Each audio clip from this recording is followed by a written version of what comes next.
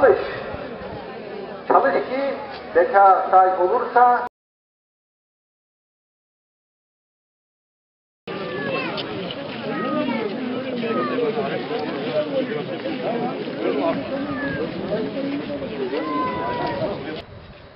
Cenaze sahibi adına hepinize hoş geldiniz diyorum. Hepinizden Allah razı olsun.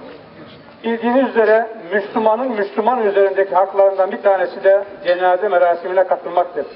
Kemali sıhhatında nasıl bilir ve nasıl şahitlik ederdiniz? Müslüman bir kişi miydi?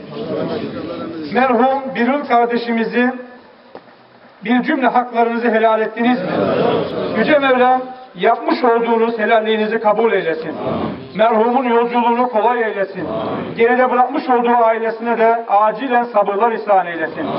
Elhamdülillahi Rabbil alemin ve lâkibetü lil muttaqin. Ve salatu ve selamu ala Resulina Muhammedin ve ala alihi ve sahbihi. İşte bu kardeşimizin ruhuna ikram ediyoruz vasıleyle.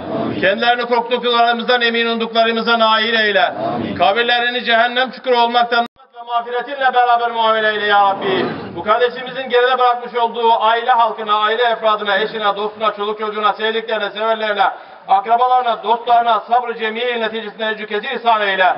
Uzaktan ve yakından bu cemaatimize teşrif edip şu anda burada bulunan bütün Kadın Efendimizin Levant Ham Sancağı altında buluşmayı bu kardeşimize, bizlere, geçmişlerimize nasip ve müessir eyle ya Rabbi.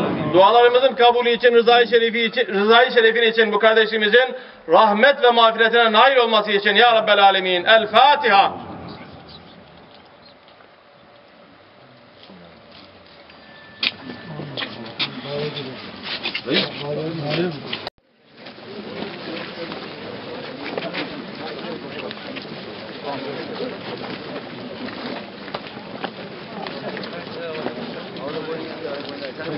Tamam, arabayı alalım.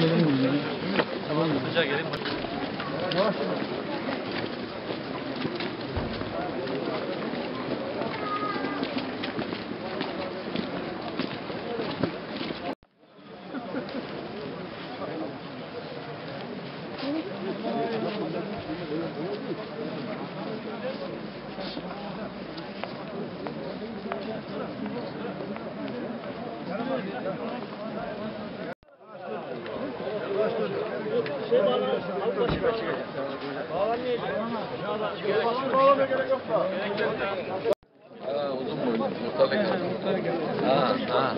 Nerede geldi ya?